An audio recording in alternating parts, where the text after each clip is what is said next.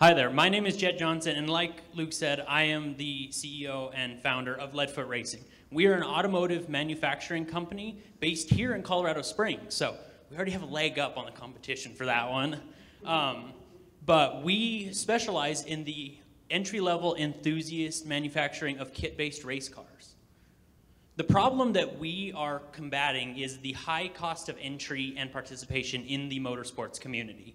We have people in side by sides, but no, most people don't understand that those are $30,000. With the higher cost of entry into the motorsports world, fewer and fewer people are going out and participating because they might start and then realize they can't afford it, or they just think it's a pipe dream. Um, and then the ones that do end up deciding, I'm going to do it, I'm going to do it myself, it raises a lot of safety concerns because they might not know exactly what they're doing. Racing's dangerous. Most people don't realize that it's as dangerous as you are told. So our solution is the Little Dipper. This is our custom off from the ground up race car chassis. It is designed to be affordable with a starting price of $15,000 that gets you everything besides the engine and it's in kit form so that way it teaches people how to work on their own car. It's safe, it meets all NASA and SCCA standards and then it's also expandable so they're not stuck in a platform that they might not want to do six months from now. You don't know until you try. This is our current 2021 Little Dipper test car. Um, this is the third one we've produced. Uh, we're using it for development, testing, creating new packages. Uh, that way we can better develop the aftermarket, essentially, for our own car. You want to be able to make the car your own. So that's what we're trying to help the end customer do. We also use it for test drives. We're currently out and about at as many events as possible. We have people come up, pay for a test drive, and then that goes towards the purchase of their car. So our addressable market is, our total addressable market is $29.3 billion. That, makes, that is made up about, by about 9 million participants. These are people that are competing at all levels below the professional league. So F1, NASCAR, that doesn't include them. Our um, serviceable addressable or serviceable attainable market is about 2.8 billion, and that's for the beginner racers. Somebody like myself that wanted to get into it. I'm still going to events. I want to be there, but I'm not going to be a pro or I'm not going to be anywhere near that. So our that was a fun one. Magic. Um, so our current beachhead market is the Rocky Mountain and Colorado region for NASA and SCCA. The reason we picked these, we have 105,000 average attendance annually.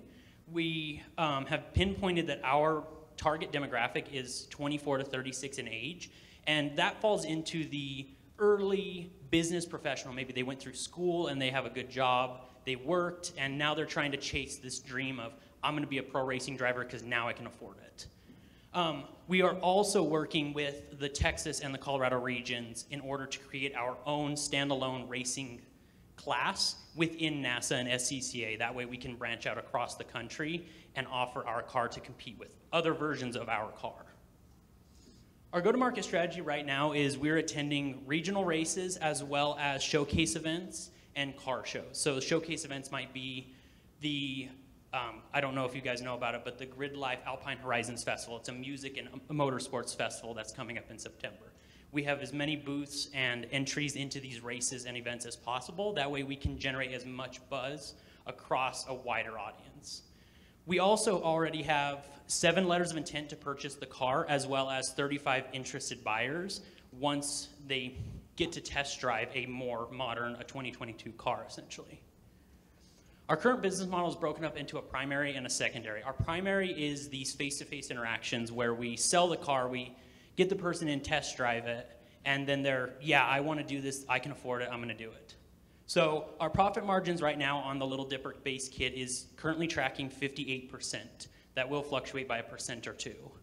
Um, and then we have optional add-ons like the packages that I mentioned. Those are going to be around a 43% profit margin. Um, our secondary market consists of more online formatting. We're currently implementing a rental car program where people can rent the car, we show up, and then they race themselves. They don't have to buy it. Much more affordable, and it gets us free publicity and free test drives, essentially. And then that's also made up of replacement parts because you crash when you're new at racing. You crash when you're not new at racing. Um, and then we have currently, we have just started introducing sponsorships into our marketing and testing program. That way we can go to more events and offset some of those marketing and testing costs. Our current competition is made up of other automotive manufacturers um, and then the used car market. So ours is centered up in the top right corner um, to be the most affordable while also being the easiest to use. You can buy a used car for slightly less, but you have to do a lot of work to it. That defeats the whole purpose of the safety concerns. You could pick a car by Palatov or Sierra down on the bottom left. They have entry-level cars that start at $40,000.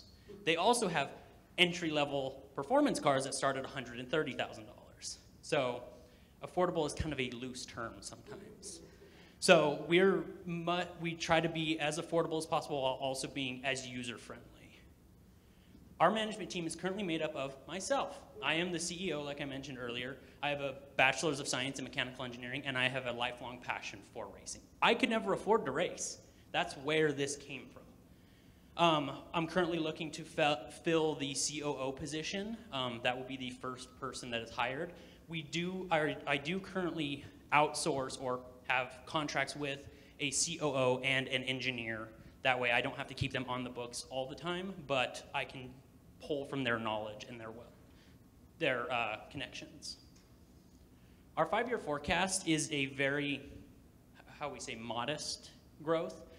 At the five-year mark, we're looking at selling 108 cars. Um, that's a really nice, soft number of we can produce that with the equipment that we have.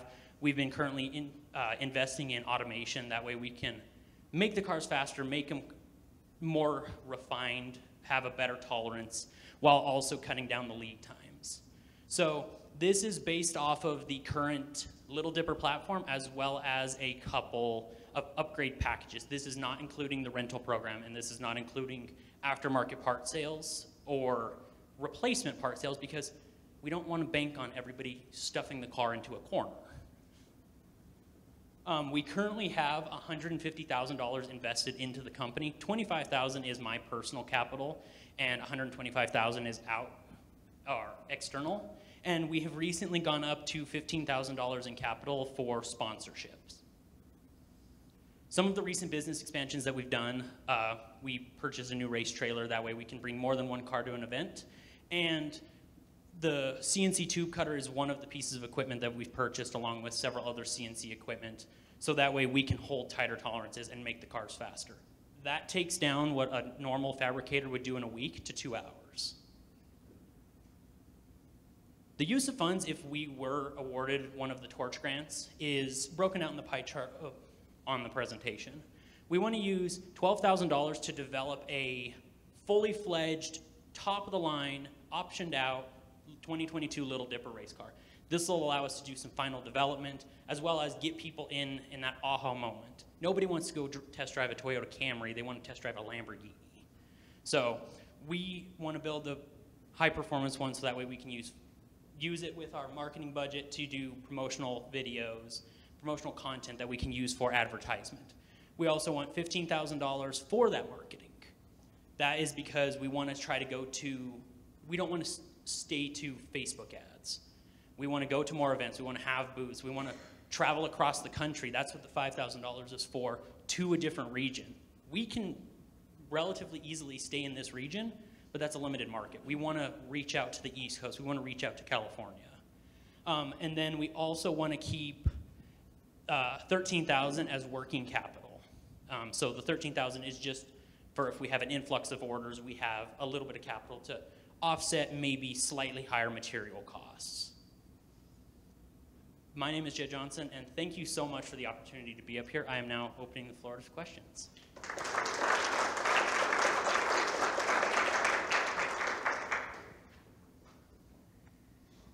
I'll start since it's in front of me. Uh, any plans for a Big Dipper? yes, there is. So our car currently uses motorcycle engines as a way to keep it affordable and competitive. Um, we are looking into a little dipper that uses more modern or more mainstream car engine-based platform. So ours is a single seater. Those will be two, two or more seaters. So yes, the Big Dipper is in the stars right now.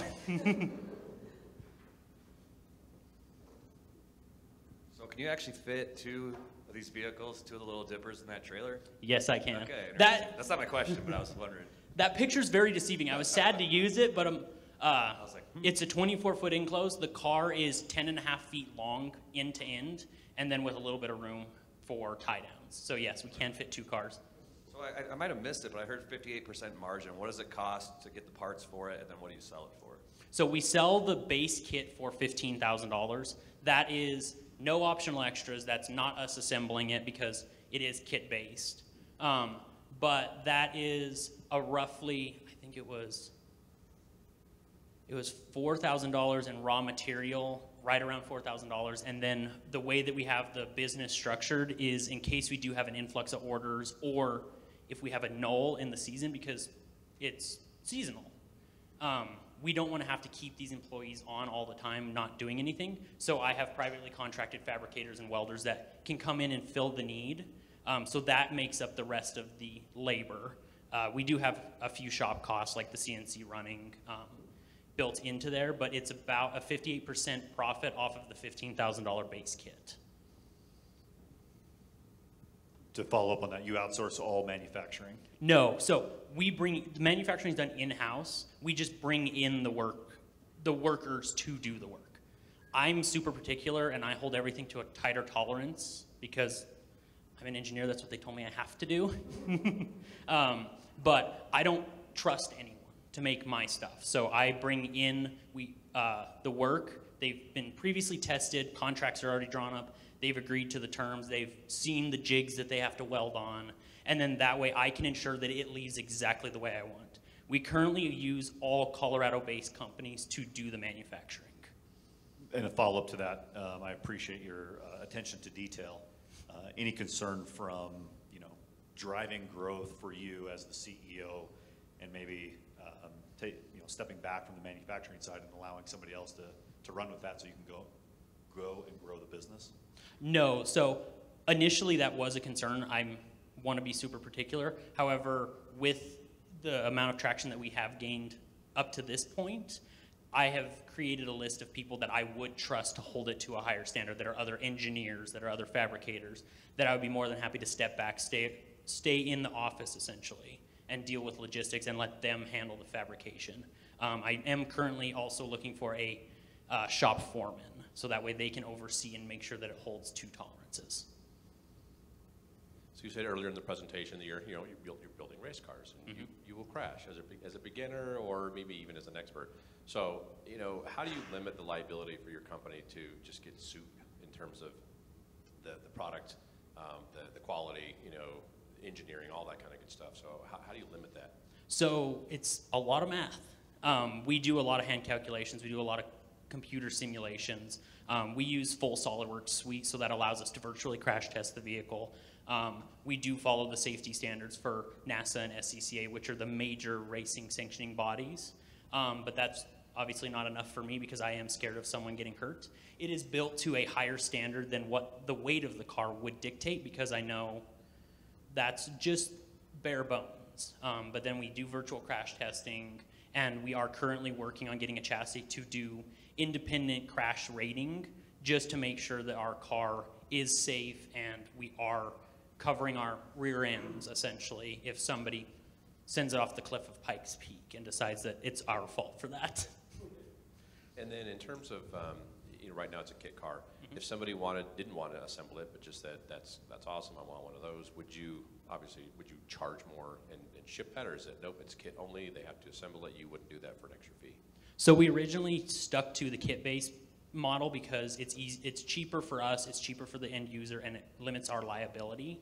Um, but we do have the assembled option. It's about a two thousand dollar extra, and that comes down to the early adopters that are on the waiting list for the car aren't going to want to build it themselves. They just want to be out and racing. So we have expanded into the assembled market. So it's now an optional extra. If you're going and purchasing the kit and you're like, I decided I don't want to, it's worth that. Yes, we will be more than happy to assemble it for you. Uh, Going back to the engine, uh, walk me through the cost of the engine, how easy that is, uh, and if you're, if I'm going to call you up and just say, give me the whole thing, what's the cost? So, neglecting optional extras, um, the end price of the car, if you were to come to us, say, I want you to source the engine, I want you to build the car, I want you to assemble it, I want it turnkey, ready to go, it would be right under $20,000 because the way that it works, we have a handful of suppliers here in Colorado and then one in Utah that we get our engines from. They do a diagnostics check, then we go through and do a diagnostics check as well as upgrading a few components that we have found in testing don't meet our standard or underperform. Nobody wants their car to not go as fast as they think it should. Um, so that is what we do to mitigate any possible issues if we're sending the product out. We fully go through torque all the, uh, all the bolts to our standards. Um, those have all been calculated as well. Uh, mark them so that way the user can say, oh, this bolt's backing out. I probably shouldn't drive it right now. Um, so that's the way it looks for us in terms of if you were to come to us and say, I want this, it's going to be right between nineteen and twenty thousand dollars. Um, we do offer shipping on the car, uh, but we encourage people to come pick it up so that way we can meet them, they can meet us, and they can understand that their car isn't made, their car's born. Uh, Real quickly, on the engine, what kind of engine? And then most importantly, top speed. So, so the engine is up to the user. We currently have a portfolio of 40 different engine options, and the reason for that is one of the affordable racing affordable racing leagues that is currently out and about in this region that's really popular is BMWs. Your engine, if you blow it up, costs you a few thousand dollars just to get a factory replacement. We wanted people to be say, "Oh, I want 150 horsepower." Okay, here are your options. They're all right around $1,000 if you're going to source it yourself. Um, oh, I don't need 150 horsepower. I'm good with 100. Okay, here are seven options, and they're around $800 a piece. We want the end user to feel like this is their car, and if they do pick the poultry 50 horsepower engine, they can say, oh, it's too slow. I want a bigger engine. They come to us, order the package for the new engine. It ships to their house. They get the engine, and then they can put in a 200 horsepower engine. Top speed is currently calculated at 230 miles an hour, but the test car, when we tested that, is a flying brick, and we hit about 140. and that was with 140 horsepower. You're welcome.